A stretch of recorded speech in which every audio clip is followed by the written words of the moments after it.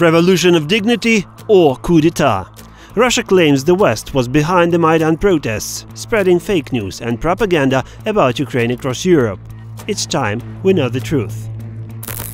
Russia has been claiming the Maidan revolution was a coup d'etat, orchestrated by the West to turn Ukraine into an anti-Russian puppet state.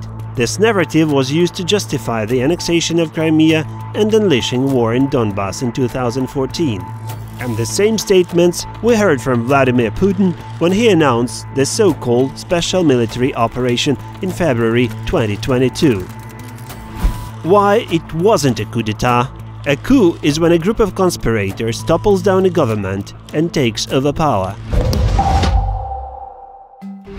Ukraine's political opposition had little to no influence on the protests, and the protesters had no intent to take power in the country.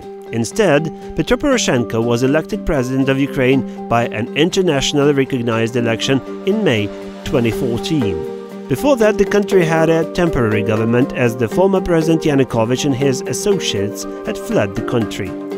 Prior to that, the Ukrainian opposition official representatives of Poland, Germany, and France, and Yanukovych himself signed a document called the Agreement on the Settlement of the Political Crisis in Ukraine. Russia refused to sign.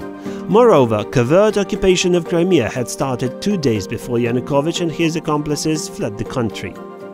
By spreading this fake narrative, Russia used a propaganda technique called demonization and dehumanization of the enemy. Its purpose is to promote the idea that Ukraine lost its sovereignty and thus poses danger to Russia's national security, though Ukraine has never demonstrated any intent to harm Russia or its people.